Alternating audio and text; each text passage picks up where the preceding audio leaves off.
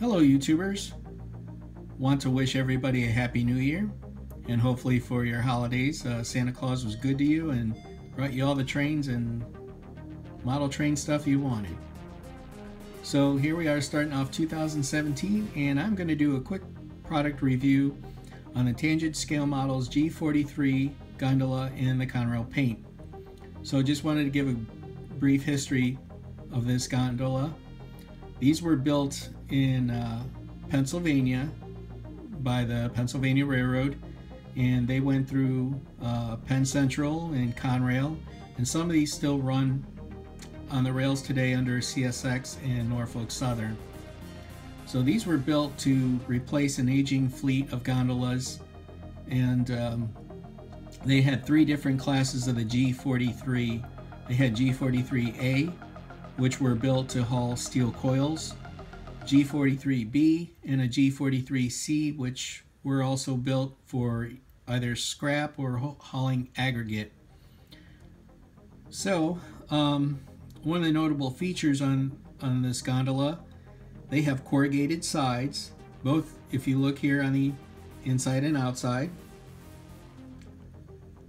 And one of the interesting notes I should bring up is that um, the ones that were built for coil steel could only haul four coils at a time, otherwise the gondola would actually bend in the middle. As you can see, this one's built with the coil rack. So this would be modeled um, uh, G43A. All the lettering on this model is crisp and clear, and if uh, you have a magnifier, you can read all the fine print on there. Um, it is detailed very well. The paint is applied very nicely. I looked up uh, information and pictures on the G43 on the Conrail Cyclopedia website, as well as Fallen Flags uh, pictures, and it's done very well. Even has the flat panels where the logo, here it is, right there, and where the road number is as well. Oops, sorry, went off camera there a minute.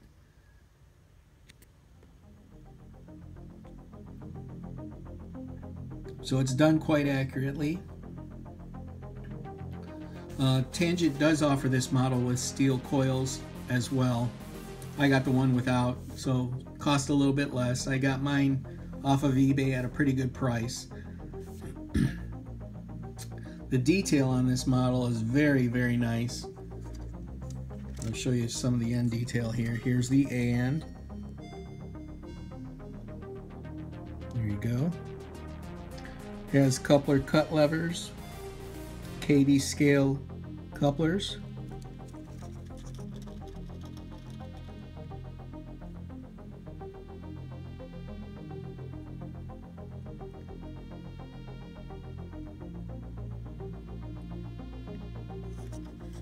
Here's the underbody detail. Separate pipe rigging and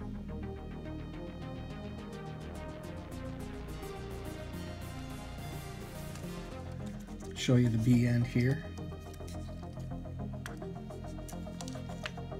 I don't have a scale for this model, but I will tell you it weighs as much as the Tangent Hopper, which I believe is close to 5 ounces and it's very free rolling. So this car will roll quite freely.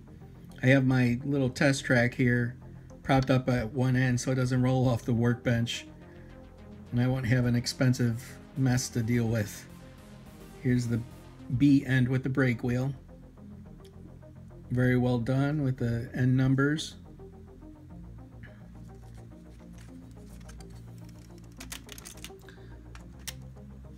If I hadn't mentioned this. I did measure against the, the Kadee height gauge that's sitting there on the track and both ends were at the proper height.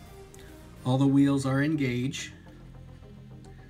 So this is a really nice model right out of the box and uh, string a couple of these together, uh, load up some coils in it and you have your nice yourself a nice little uh, Conrail coil train ready to serve any industry.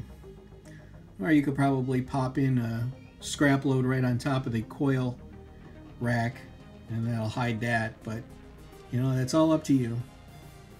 Um, they do offer this in Pennsylvania Railroad uh, in the oxide red, Penn Central green with the worm scheme, and of course the Conrail as seen here. So, and I'm sure they offer several different road numbers for each of these.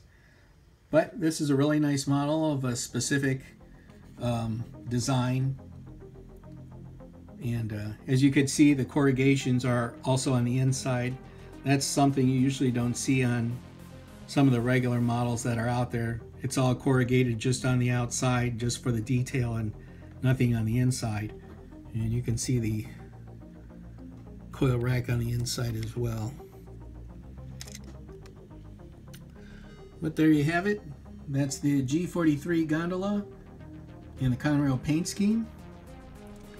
And if you enjoyed this quick review I had, you know, press the like button, subscribe to my channel, and if you have any questions or comments about something you wanted to see on this, uh, leave a comment below. I'll try to answer as best I can. All right, take care, everybody. Blind Modeler out, and catch y'all later.